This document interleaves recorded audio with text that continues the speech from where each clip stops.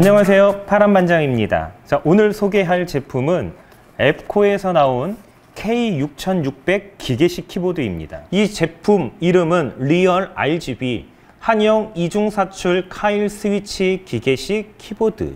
이름이 조금 긴 편이죠.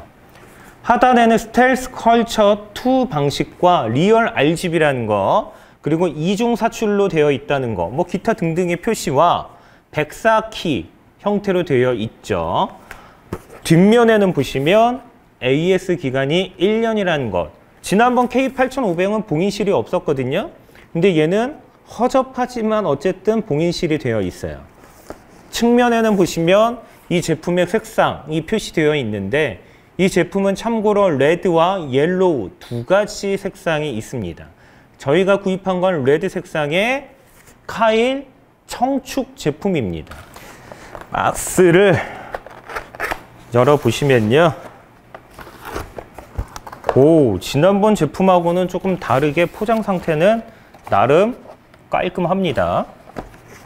어, 어, 이거는 또 지난번하고 좀 다르게 허접하네. 솔하고요.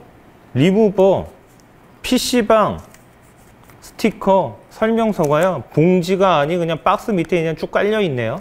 앱코는 기본적으로 키보드 덮개를 제공을 하죠.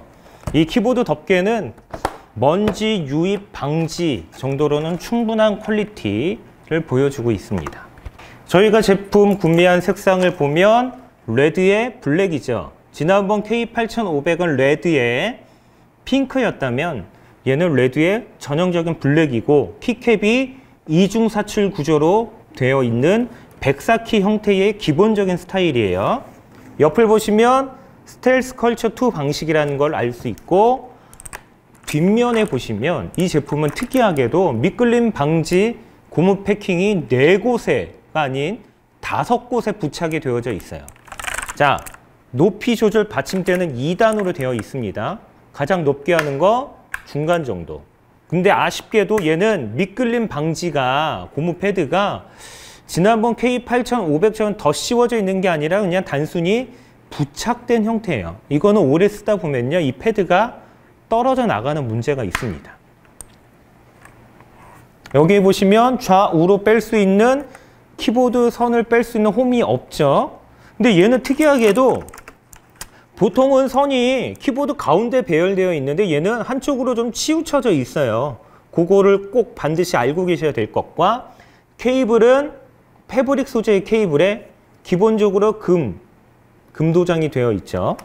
얘도 동일하게 무한 동시 입력이 되고요. 잠시 후에 보면 알겠지만 청축 제품이에요. 근데 스위치가 카일이라는 거 키캡과 함께 타건음을 한번 살펴보도록 할게요. 일단 키캡을 위해서 하나 보여드릴게요. 얘는 전형적인 이중사출 구조인데 한글과 영어가 모두 다 이중사출 구조로 되어 있는 제품입니다. 파란색 보이시죠? 청축이라는 걸 확인할 수 있고 스위치는 카일임을 확인할 수 있습니다. 자, 이 제품 타건음을 좀 비교하기 위해서 제가 K600하고 함께 좀 비교를 해볼게요.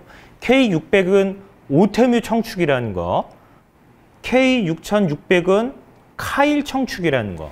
타건음을 한번 들려드리도록 할게요. 먼저 K6600 카일 청축입니다.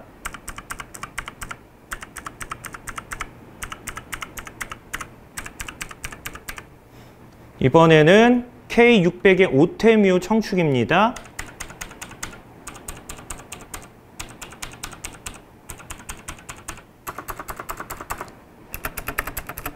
자, 한번 비교해 보세요.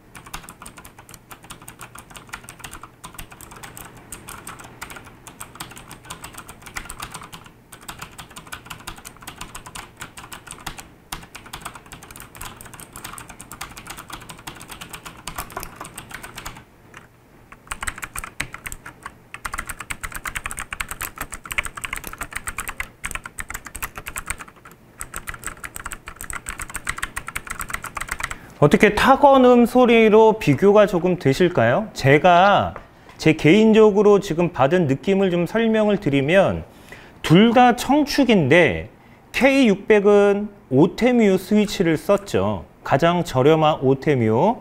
K6600은 중간 가격대에 해당되는 카일 스위치를 썼어요. 제가 받은 첫 번째 느낌은 카일이 타건할 때 쫀득거리는 느낌이 더 강해요.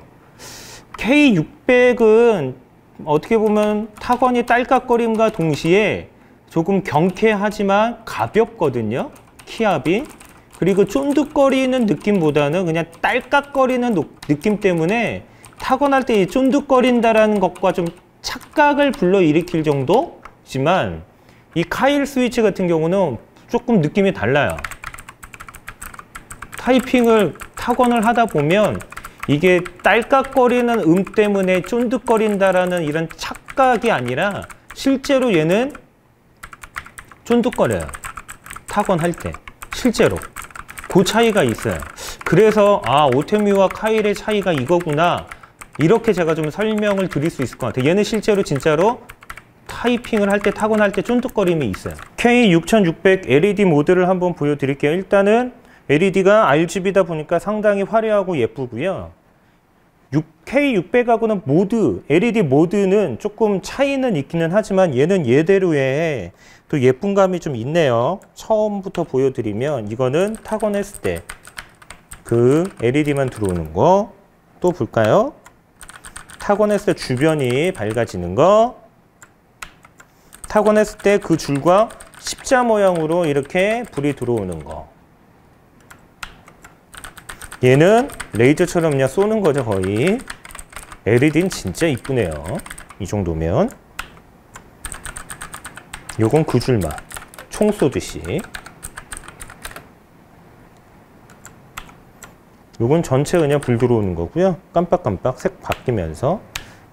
두 번째는 그냥 숨쉬기 모드라고 해야 될까요 이거를요? 또 있나?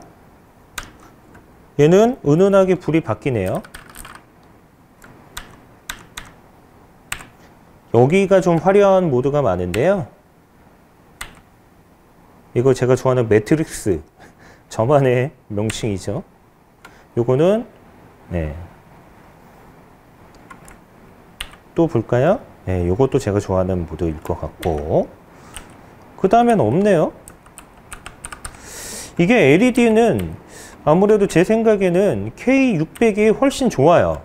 얘보다. 왜 제가 이 말씀을 드리냐면 K600의 LED 모드가 더 많아요. 화려하고. 자, 이걸 한번 보죠.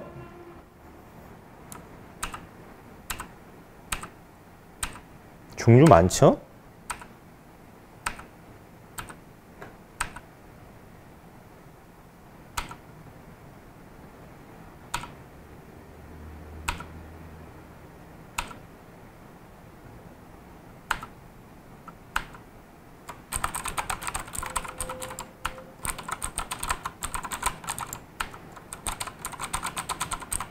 K600이 확실히 더 화려해요. 솔직하게 말씀드리면.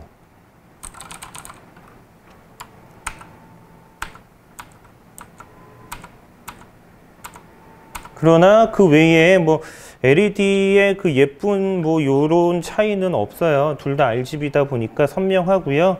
LED 모드에서 K600이 K6600보다는 더 많은 다양한 모드를 가지고 있다는 차이점이 좀 있네요. 이상으로 LED 비교를 간략하게 해봐 드렸고요. 뭐 K6600은 얘 나름대로 굉장히 가격 대비 가성비는 정말 좋은 것 같아요. 이게 지금 저희가 세일을 해서 되게 저렴하게 사, 구매를 했거든요. 근데 스위치가 카일 스위치라는 거 하나만으로도 충분히 구매할 만한 메리트는 있고요. 그리고 뭐 LED 모드도 K600에 비해서 종류는 조금은 부족하지만 그러나 전형적인 이중사출 구조의 RGB다 보니까 사용하는데 LED가 정말로 목숨처럼 여기시는 분들이 아닌 이상에는 이 제품 충분할 것 같습니다. 그리고 여성분들 참 좋아하시겠죠? red 색상의 black 괜찮은 것 같습니다. 저희 영상 도움이 되셨다면요. 저희 좋아요 버튼하고 구독 버튼 한 번씩 꼭꼭 부탁드릴게요. 그리고 이 키보드 시리즈의 영상을 보시면서 다음번에 이 제품 리뷰 해봤으면 좋겠습니다 하는 거 있으면 댓글 달아주시면요. 저희가 그 제품 선정해서 리뷰 진행해 보도록 하겠습니다. 저는 이만 먼저 가보도록 할게요.